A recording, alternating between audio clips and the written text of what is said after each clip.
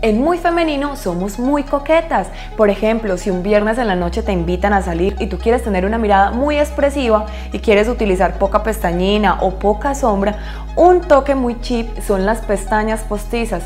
Pero ¿qué pasa cuando no nos las sabemos poner? Aquí, hoy te vamos a enseñar a que te pongas esas pestañas enteras y puedas lucir una mirada espectacular.